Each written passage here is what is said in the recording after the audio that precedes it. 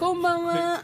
YouTube に上がる。マリッペでございます。今日はこんな素敵な人と一緒におりますけれど、えーっと、ここは春日井の藤ヶ丘にある天ぷらテルというところに来ております。なんと、天ぷらも美味しいんですけど、一番最初に出てきたのが、これでございます。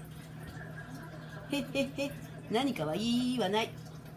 美味しい分かる人には分かる美味しいものでございますこれから今日はいっぱい天ぷらを食べていきたいと思います伊藤さんは飲んでますよね？これどんな映画？絵なのこれ。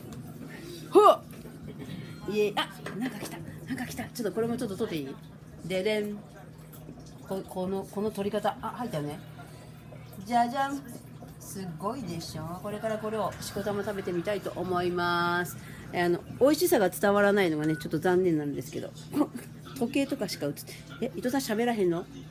くるくるくるくるしてる。何を緊張してはんの？これがあのどんどん顔が赤くなっていくと思いますので赤くならないタイプなんで大丈夫です。はい。楽しみにしていただきたいと思いますそれでは続きはまた後で